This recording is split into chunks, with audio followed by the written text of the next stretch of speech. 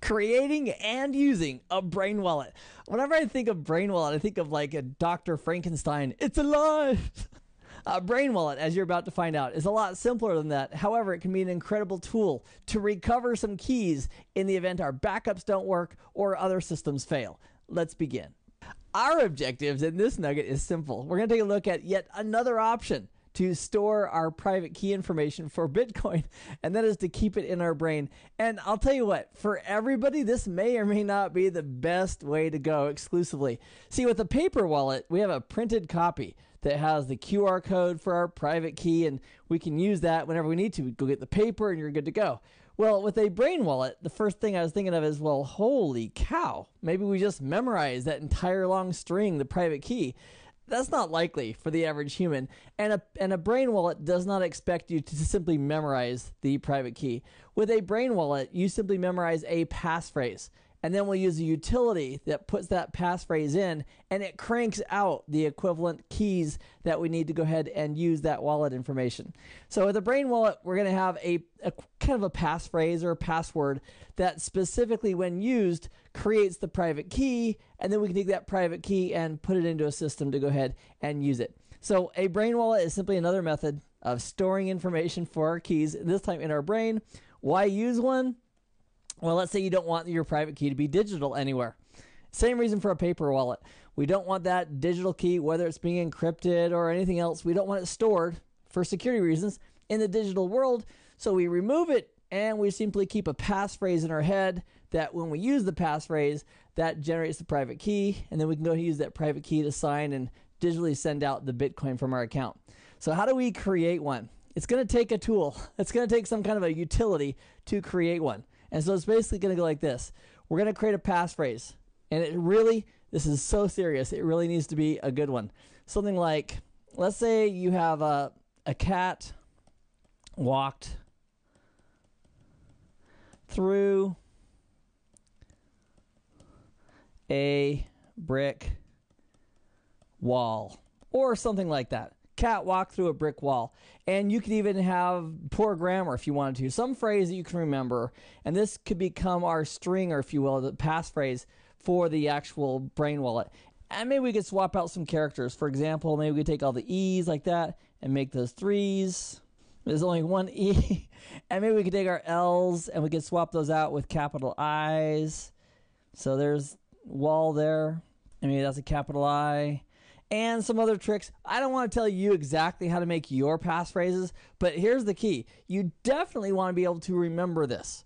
So it should be nothing that's well known from music or literature as far as a exact phrase that somebody could brute force attack, but simply maybe get a, an idea or a concept that you know you could remember, and then some techniques to swap out a few characters. Remember the upper and lower case. Maybe make through capital T H R O U G, H, because it's going to be case sensitive as well. So, whatever you want to do, you create this phrase that you know that you can remember. See, for me, I'll tell you what, I'm not using I'm not using a, a brain wallet for me. Never. I'll tell you why. I go on a really short vacation where I really enjoy myself, get totally immersed in whatever it is. I come back, I can barely log into anything because my brain has just been out of it for a few days and I just don't remember all my passwords. That's that's how it works.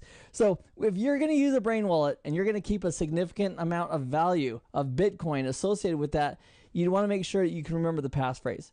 So what I'd like to do is walk you through one example of creating a brain wallet. And there's different clients and there's different sites you can go to. And as the Bitcoin community expands, there's just going to be more and more and more services. But the concept is we create a phrase that we can repeat and that repeated phrase is generates the private key associated with our account so we can go ahead and move Bitcoin around at will. So we're going to use blockchain info. They've been so great. They have great, they just have a fantastic service and lots of bells and whistles, including a brain wallet. Let's go up to blockchain.info and let's create a brand new brain wallet. So we've logged in with this little test account that we've been using for a few of these nuggets. And before we get into the actual creation of the brain wallet, let me walk you through a couple of really important things like backing up inside of blockchain.info. So we're logged in over here under backup. You notice they put it on the front page. They want to make sure you are very aware of it. If we click on download, that downloads an encrypted copy inside of our browser. That's in my download folder. I happen to be running Chrome. But if I was running Internet Explorer or something else, um, whatever browser you're using, it would download a copy so you could go and restore it, which is fantastic. We also have Dropbox. Now, I currently am a Dropbox customer, and so if you click on Dropbox, it'll say, Do I have permission? It'll ask you to authenticate. And if you look up here, it's saying successfully saved. So I have a folder in Dropbox where it's saving this encrypted content. And it is encrypted, it's super strong. So even if this is saved up in the cloud, not a big deal people can't really open it and use it unless they have the password for my account as well to go ahead and get in. So that's one great method. So I'm going to go ahead and close that for a moment. We also have Google Drive. If you've got a Google Drive in the cloud and want to save it, that's fantastic. Or you could have them email it to you. With email, it'll email us the encrypted file so that we could restore it as well. So we don't want to be left hanging in case the entire blockchain website went out, went away. We can still go ahead and restore our keys on some other system or some other client because we have a personal backup of that information. So let's take a look and see exactly what we have going here. I've got several transactions and they've all been confirmed by the Bitcoin network, which is fantastic. Let's go to receive money and take a look at the addresses that we have.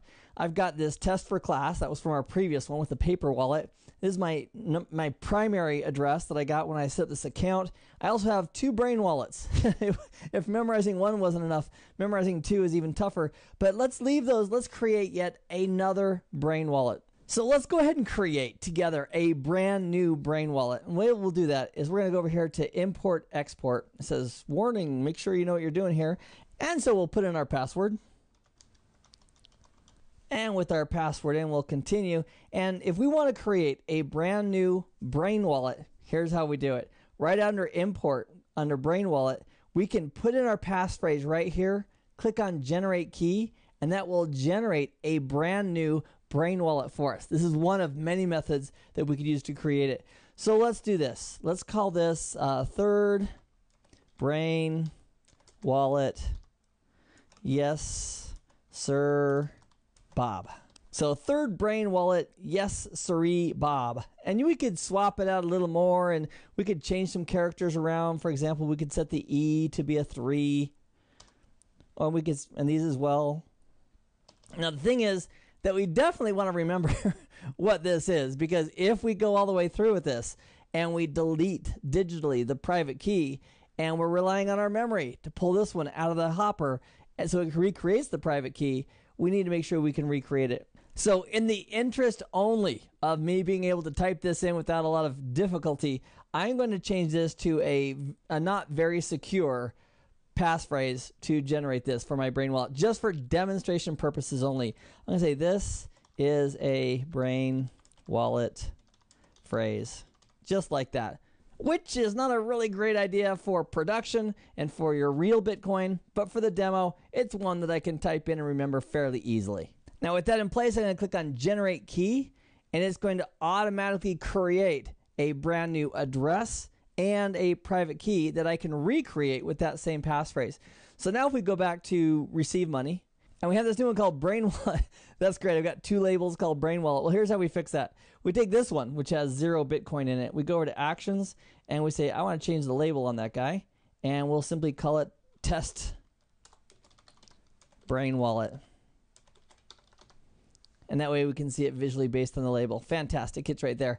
And I'm also going to transfer a little bit of Bitcoin over there just so we have a little bit to play with. Let's do that by going to Actions and saying I want to see the QR code and I'm going to scan that. I'm going to click on send payment. I'm going to send it 0.033 right now. It asks me to confirm, and that money is on its way. Okay. So if we close this in just a moment, this should show up saying, hey, there's money on the way. So here we have our test brain wallet right here. It's got 0.033 Bitcoin in it. And again, this refresh option up here can refresh it just to make sure we see everything real time. But it didn't take very long for it to show up. Now, is that Bitcoin available for us to send and send out? The answer is no, not quite yet. If we go to my transactions, it says, you know what, this hasn't been confirmed yet, but it will shortly. So at this point, we might be saying, well, Keith, I see that we have this test brain wallet. It has 0.033 Bitcoin in it. Fantastic. growth. And That'll be confirmed here shortly. I've got this address we wanted to send money to that uh, address, but we also have this private key behind it. How exactly is that a brain wallet? Well, the answer is If for some reason we deleted this completely, let's say we didn't back it up, which by the way we should. Let's go to Wallet Home and we're going to say, I want to back this up to my Dropbox account, which it will. So now the encrypted copy of all that content, all of my addresses and their private keys, those are all backed up. Fantastic. Because we just backed it up, the most deliberate way to get all of it back would simply be to do a restore. So the reality is this let's say that our backups that we have in our Dropbox account, in the browser, the backups that are being automatically made by blockchain.info, the backup we emailed to ourselves, let's say all of that through some horrific event is completely gone.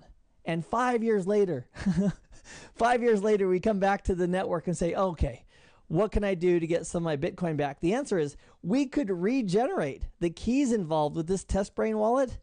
And by doing so with that passphrase, the keys are going to be available to us. And once we have the keys, we can then transfer Bitcoin out of that account again. So the Bitcoin network knows exactly where everything is. It's just a matter of having the private keys to authorize the transmission or use of those coins. And for a demonstration, we could do one of a couple things. One, we could go ahead and simply delete the private key, simply like we did with the paper wallet, or we could delete the whole thing altogether. So, as a reminder of how to do that, let's go ahead and take this test brain wallet. We'll go to actions and say, I want to go ahead and archive this address. Go to archived addresses and simply say, I want to go ahead for this test brain wallet. And also, it wouldn't be a bad idea, by the way, to hit this resync button right here just to make sure that everything is currently synchronized. So I'm going to go to the test brain wallet and say, I want to delete the keys. Now, let me tell you about sweep keys too. If we wanted to move all the money that's associated with a given address, what we could do is we could say, I want to sweep the keys. And it would say, Great, where do you want to sweep them to? It's going to basically pull all the value of all the Bitcoin you have in that account and move it to another address inside your wallet. And it'll let you choose. So I'm not going to complete it, but it's going to say, Where do you want to send it? And I can send it to any one of these other addresses that I wanted to. So I'm going to hit cancel. We have a 0.033 BTC on the line. It's not really a risk because it's backed up so let's go ahead and delete the keys. And now it's asking, do you want to delete just the private key so you can watch that value in that account, or do you want to go ahead and delete the address and the private key? And previously, what we did was we deleted the private key only for the paper wallet. And that's really the most protected element as well. So let's delete the private one here. And I have 10 seconds to change our mind. Whoo! It's like 0.033 BTC on the line. And again, it's no big risk. We've got the backups, we've got the Dropbox, we could email it to ourselves, and any of those backup mechanisms, in addition to the Brain Wallet, could be used to restore that information. So now it says watch only. I'm going to go ahead and click on the back to put it back as an active address. And here's our test brain wallet. And we can't send any money out of it because we don't have the da da da da. We don't have the private key information. Let's go back and take a look at our transactions. And we haven't been confirmed yet, but we will. I know it's coming. So let's take a look at what we might do if blockchain.info completely just went away, all of our backups magically somehow went away, and we needed that private public key pair information again. We could go to a site like brainwallet.org, and there are others, and check it out. What we're going to do is we're going to simply put in the passphrase that we used to actually create that brain wallet. So if we can remember the passphrase, we can regenerate from that the keys involved. So I think it was this is a brain wallet phrase. And if that indeed is the correct phrase and capitalization matters, for example, if we change brain to capital B and take a look at the output, see how it's significantly it's significantly different. Every bit matters. So we'll put the phrase in exactly as we remembered it. And here is our private key right here. And there is our public key. So this is our address and this is the actual private key. Now we if we peek back, now this one begins 1NRB. If we go back and take a look at these addresses and receive money, you notice this is 1NRB. It got it exactly right. there's there's some serious math involved, but not only do we know what the actual public address is, but we also know more importantly what the private key is, which is this guy right here. So I'm going to take the private key. I'm going to copy it and we'll go back to blockchain info and I'm going to say I want to import this. Now, how how would you bring that private key back in? This also works for the paper wallet, by the way. Once you have the private key, whether it was obtained through a paper wallet that you had printed out or a brain wallet that was created based on a passphrase, you take that private key, you go to import export, and it's going to want a password, which I will provide. And once here, we can say, I want to import a private key. So from here, we could take this private key right here and just copy make sure I still have it. Go back here, put it in, click on add. It says, okay, great. It has all that information. Look at this.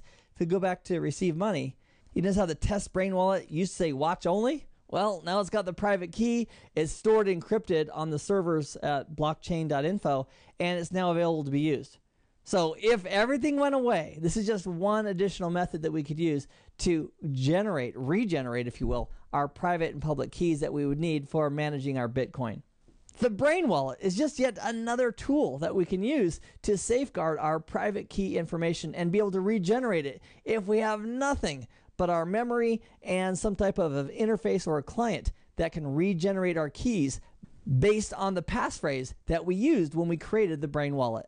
In this nugget, we've taken a look at the idea of a brain wallet that can be used if every backup of our keys has been lost, every record of those keys, either tangibly or digitally, has been gone. If we have our brain wallet and that passphrase, we can actually recreate the keys required to continue to use the coins associated with those keys. Your mission, should you choose to accept it, is to create your very own brain wallet just to get familiar with the concept and the idea of using it. So create the brain wallet, maybe delete the private key, go to a tool to recreate the keys based on your passphrase that you used when you created the brain wallet, just to verify and get a feel for how it works. I've had a lot of fun. I appreciate you joining me. I hope this information has been informative for you, and I'd like to thank you for viewing.